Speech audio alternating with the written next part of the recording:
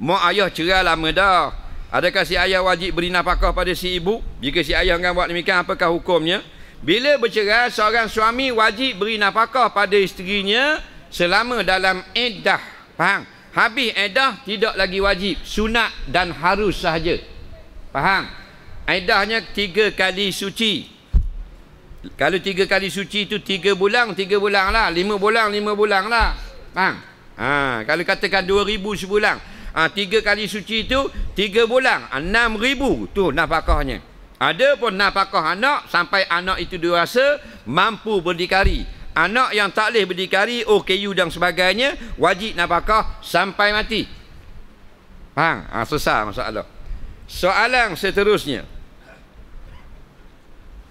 Anak nak satukan dua ibu bapa yang telah berpisah, lagu mana? Ha, tu masalah. Kadang-kadang bila kita pisah tu, nak Memang nafsu lah Tapi bila kita berpisah Anak menjadi mangsa. Ramai orang laki-laki Yang berkelahi, kelahi, kelahi, kelahi Dia nak cerai isteri dia. Tetapi fikir kepada anak Tak jadi cerai. Betul tak? Anak lah pengikat kasih, sayang sebenarnya. Nah, ha, Bini dia tak fikir dah Cerai lah aku, cerai lah. Woi, cerai Nampak? Ha, tu kau puang Dia bodoh mau dia kau puang. Nah, ha.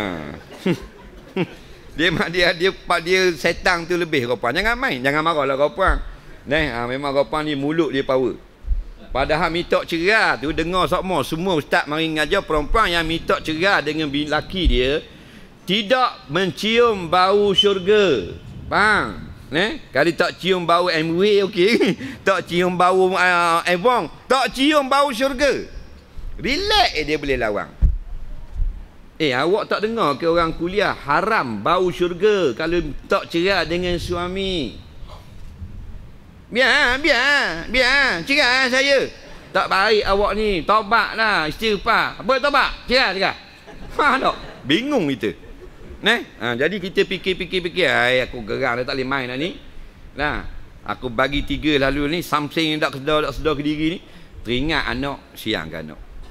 Betul tak? Betul kita boleh kita tengok anak kita tapi anak kita dah ke sana sini, sana situ, sana sini. Tidur suku-suku. Nak, ha, anak pengikat kasih patulah. Sabarlah kalau boleh lah. Neh. Ha. Tapi kalau dah bercerai, terbaiklah anak-anak lah. Neh. Nasihatlah dengan kata sebab perkataan anak boleh meruntun hati dua ibu bapa. Neh. Ha, kalau bini kerah kepala, laki kerah kepala, anak berkata-kata. Nah, kerana kadang orang lain tak ada apa. Panggil tok guru tak ada apa. Tapi anak kata, mak nikah mula dengan ayah. Ayah handsome lagi leading. Faham tak? Ah, lain macam. Kalau anak tu kata. Neh, ah, molek.